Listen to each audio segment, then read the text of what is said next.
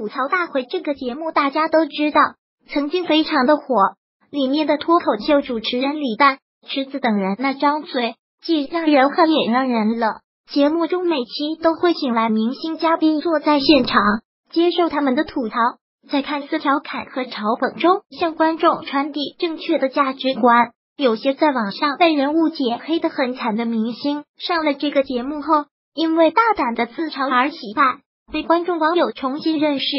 所以，尽管这个节目很大胆，不少明星都争先恐后地等着来潮。如今吐槽大会已经下线，可热度却还在。原因呢，就在于李诞曾经在节目中的神预言。首先是许多人喜爱的歌手薛之谦，沉寂了许多年歌终于火了，因为性格和才华圈了不少粉，可很快就被网友扒出才出轨打胎的渣男实锤，让不少人都对他塑造的人设很幻灭。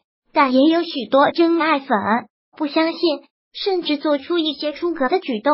而李诞早在节目中就吐槽。过薛之谦和他的粉丝们，有粉丝给他留言，要薛之谦不要参加这种节目，薛之谦的事不要拿到节目中说。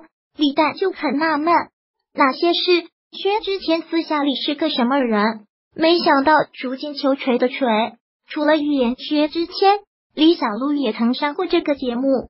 当时的李诞染了一个很洋气的粉色头发，李诞调侃自己的美发水平比李小璐高。还称李小璐是所有男人心中的女神。现在梦醒了，只有贾乃亮没醒。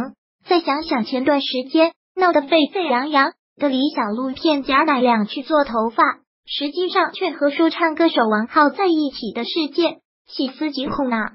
张雨绮是个有个性、有想法的女明星，长得也很漂亮，只是感情生活一直不是那么顺遂。